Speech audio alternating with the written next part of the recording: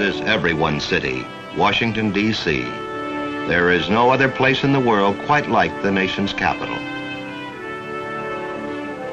If you listen closely, you might even hear the bell of liberty ringing. Or the muffled guns of freedom, fired by men who died to create the panorama of beauty and justice as we see it today. Yes, this is everybody's city. Yours, mine, and the wide-eyed youngsters who know America as it is today, but have yet to learn the glory of its yesterdays and the greatness of its tomorrows. It is a city of strength, a city of beauty, and yet a city that is everybody's hometown and belongs to the world. Washington is a symbol for free men everywhere, but a symbol that lives and breathes. It lifts your heart when you see it, just as it lifted the hearts of those who built it from a dream, just as it lifts the hearts of those who work to keep it strong today. Among the many dedicated who serve their nation is your United States Senator William Langer. The story we tell in this month of May 1958 is just an average day in the life of your senator, who for 18 years has served the people of North Dakota in the United States Senate. It is a day vastly different from those he spent as a farm boy growing up in Casselton, North Dakota. As a graduate of Columbia University in 1910, where he was valedictorian and president of his class. As Attorney General for the state of North Dakota. His duties as a two-term governor for the state of North Dakota were never as demanding as the duties as assumed as a United States Senator. His career since January 3, 1941, I think can best be described by these three words, hard, constructive work. You know, there are only 96 senators in the nation's capital. There are only 96 senators in the entire world. Senators whose duties have encompassed every facet of making a democratic form of government work in behalf of 173 million people. Senator Langer, an early riser, leaves the Capitol building after attending a breakfast prayer meeting in the Vandenberg room. Accompanied by Senator Kefauver and Senator Dirksen, he walks across the Capitol grounds to the Senate office building. This gives them an opportunity to discuss matters pending before the Antitrust and Monopoly Subcommittee holding hearings on the lagging national economy. Arriving at his office, Senator Langer discusses the day's work with key members of his staff. These members are Mrs. Irene Martin Edwards of Fargo, North Dakota, Mrs. Ann Donahue of Bismarck, North Dakota, Mrs. Dorothy Gwynn of Casselton, North Dakota, and Miss Mary Bell Kaufmann of Hebron, North Dakota. Later in the day, a progress report will be presented to the senator and he will make his final decisions. A task in the life of any senator is his committee work. Much committee work is conducted in private or executive sessions. At other times, the press and the public have free access to these deliberations. On this particular day in the life of Senator Langer, he confers with some of the members of the important Foreign Relations Committee. They are Senator Wayne Morse of Oregon, Senator Alexander Wiley of Wisconsin, and the distinguished chairman of the Foreign Relations Committee, Senator Theodore Green. These two active senior senators are well known around Washington for their daily walks of a mile or more. Senator Langer is also the ranking Republican member of the Judiciary Committee, of which he was chairman during the Republican Congress. But let's ask the present chairman of the Judiciary Committee, Senator James Eastland of Mississippi, what he thinks of Senator Langer's work with this committee. I consider Senator Langer to be one of the most able members of this committee. His wealth of experience and his vast knowledge on problems which come before us make him one of the most respected members of the United States Senate. It is this which has enabled him over the many years to contribute so much toward the benefit not only of the people of North Dakota, but to those of the entire nation. Senator Langer, of course, being a member of the Post Office and Civil Service Committee, is extremely interested in what happens to our postal employees and our civil service employees. And to find out his thoughts on the matter, let's now ask the present chairman of that committee, the Honorable Senator Olin D. Johnston of South Carolina.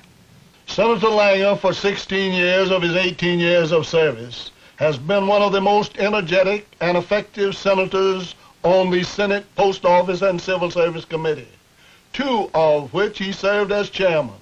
Senator Langer co-sponsored and pushed through the committee and the Senate most of the legislation improving the working conditions, pay, and pensions of the government employees. He has received numerous citations for this work. I can think of no one who has devoted more time and energy on behalf of all working people.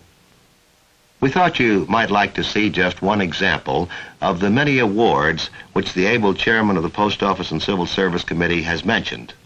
Just recently, Senator Langer received this award in recognition of his untiring efforts on behalf of the working man. This was presented to Senator Langer by 32 unions representing civil service and postal employees throughout the entire United States. Here is the United States Senate chamber, just before the bell rings to call the senators to the opening session. It is here in this room that for 18 years Senator Langer has represented the people of North Dakota and has done everything in his power to bring progress and recognition to our state. Senator Langer's interest in the problems of youth are well known, and here he discusses these problems just prior to the day's session of the Senate with this group of young people on the Senate steps. Later in the day, after participating in a heated Senate debate and voting on several key proposals, Senator Langer and Senator Young leave the Senate floor to meet several North Dakota constituents. After meeting with the North Dakota visitors, Senator Langer returns to his office to go over the day's work. Senator Langer reads, checks, and signs each letter that goes out of his office, and many of them contain a personal postscript. But who is this man, Senator Langer? Let's look at his extensive record.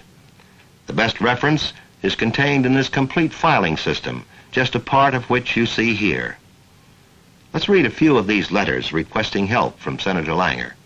As an example, here's an excerpt from a letter received by Senator Langer on February 8, 1955.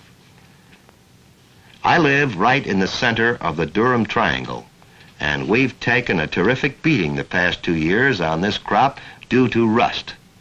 And it states further, we need new seeds so that we can get our bushel acre back to normal again. We need more acreage.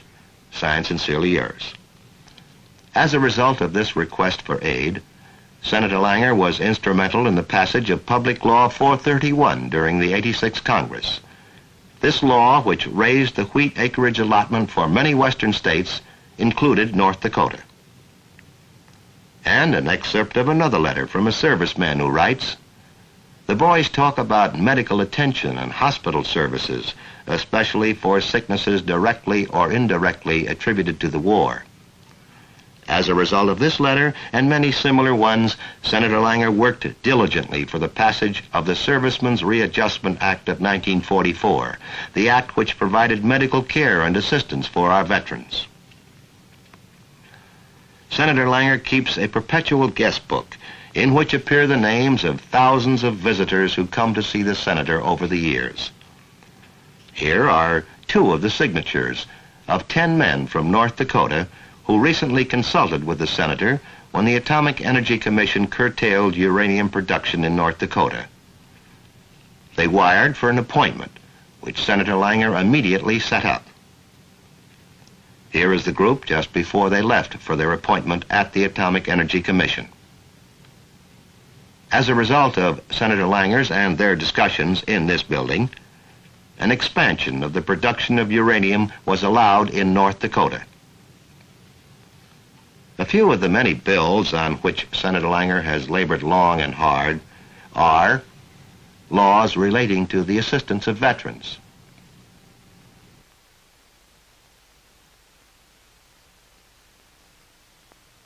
to allow North Dakota to operate free highway bridges. Disposal of agricultural commodities. Adjustments in the Railroad Retirement Act. Obtaining federal land for North Dakota schools. Protection to purchases of automobiles. amendment of wheat marketing quotas, the protection of North Dakota water rights from the Little Missouri River and its tributaries, the redistricting of the Judicial District of North Dakota. But now let's hear from the man who has contributed so greatly to North Dakota, North Dakota as we know it today. The film you have just seen depicts the normal life of the average senator day by day. Each senator represents his state of the country. And you can be certain, as long as I'm in the Senate, I will be in there battling for North Dakota and for the United States of America. With the black gold flowing and the wheat crop growing and the cattle grazing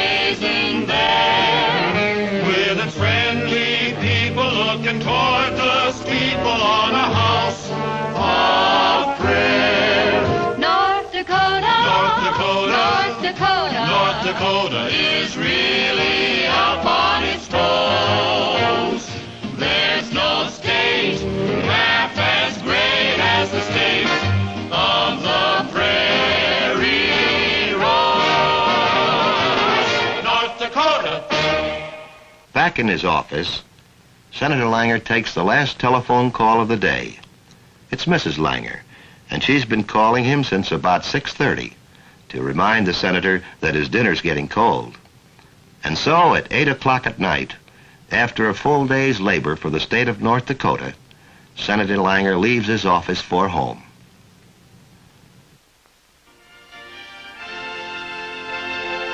For those who labor in our behalf, we realize that the darkness descends too soon, but freedom and justice are not dimmed by nightfall.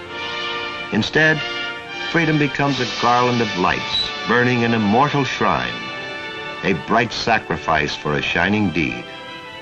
For this is where justice and freedom are furnished by the memory of our honored dead, where mankind's hope will return.